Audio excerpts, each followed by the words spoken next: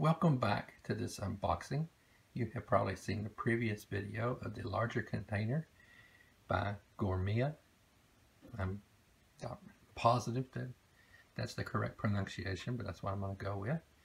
As you can see, the smaller unit, it also has measurements on it. It's been in the refrigerator, so it's one of the frosted up. This one here goes to 32 ounces. Anyway, it sports the same great characteristics as its larger brother. Stainless steel top with airtight seal. It has the, uh, I believe it's a 1810 stainless steel, which doesn't stain or hold odors or transfer taste if you use it for different things like teas, infused water, cold coffee, etc., etc. The glass can withstand temperatures of boiling water.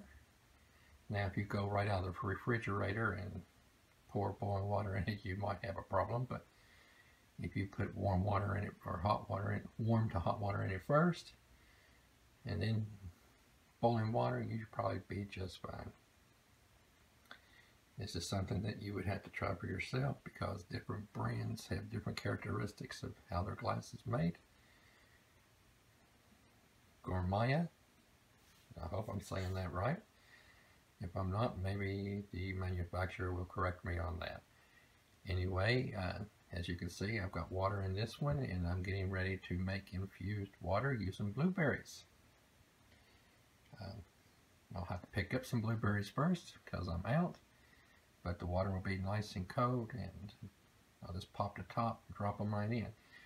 I had the same issue with this one. I could have got this with a pour spout, but I like it better without the pour spout. However, I would like it if it was designed in such a way that you could pour while leaving the infuser or strainer in the container. Otherwise, I'm like I said in the earlier video, I purchased this before Christmas and I've just been trying it out since I returned from holiday. So thus far, I'm very happy.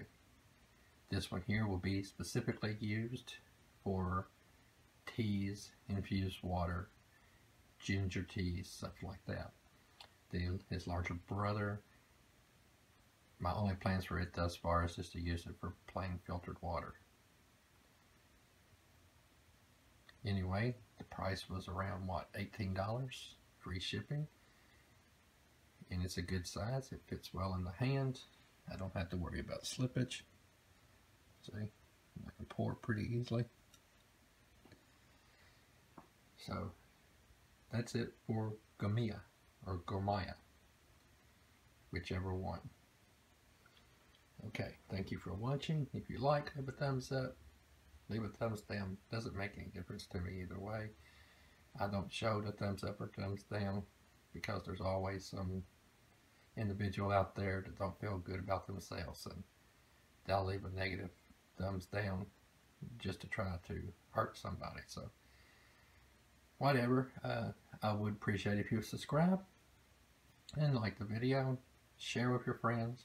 Other products, videos coming up for box openings and like that. So, do stop in and check out. If you subscribe, you'll be notified when new videos go up. Again, thank you for watching.